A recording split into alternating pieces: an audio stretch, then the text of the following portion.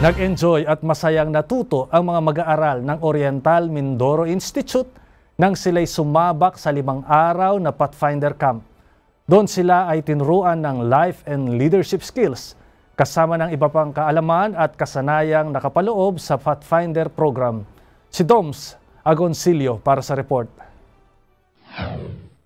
Nagsagawa ang paaralan ng Oriental Mindoro Institute ng Pathfinder Camp sa Magalang Farm, Manguyang Gloria, Oriental, Mindoro noong ika-28 ng Marso hanggang ika-isa ng Abril taong kasalukuyan bilang paghubog sa kaalaman at kasanayan ng mga mag-aaral. Ang OMI ay isang paaralang Adventista sa Gloria, Oriental, Mindoro na may layuning ipanumbalik ang imahe ng Panginoon sa bawat mag-aaral.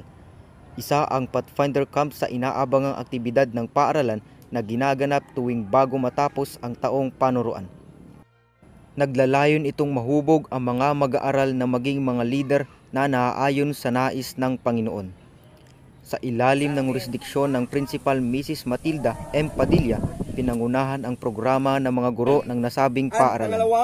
Sa pamamagitan ng mga ganitong activities ay ating mas makikita na ang pagkakaisa at ang tiwala sa kanila. Dapat nandun yung tiwala sa ating Panginoon at yung ating paggawa sa ating Panginoon. Ang nasabing aktibidad ay hindi lamang upang mahubog ang kanilang kakayahan, kundi upang mapalakas ang pananampalataya ng bawat mag-aaral. Napakarami pong naitulong ng Pathfinder Camp na ito sa aking buhay.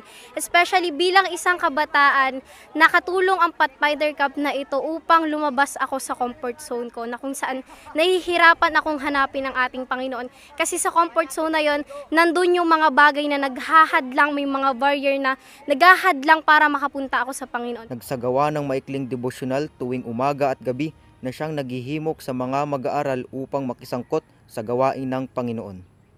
Ang gawaing kagaya nito ang nagtuturo sa mga bata mula sa murang edad ng tungkol sa Panginoon at huhubog sa kanilang pananampalataya na makakatulong sa panahong sila naman ang magpapatuloy sa gawain ng Panginoon. Lahat ng papuri ay sa Panginoon sa pagpapahintulot at pagbibigay biyaya sa mga ganitong gawain. Layunin magatid ng mga balitang may pag-asa. Ako si Doms Egoncillo, Hope Today and News.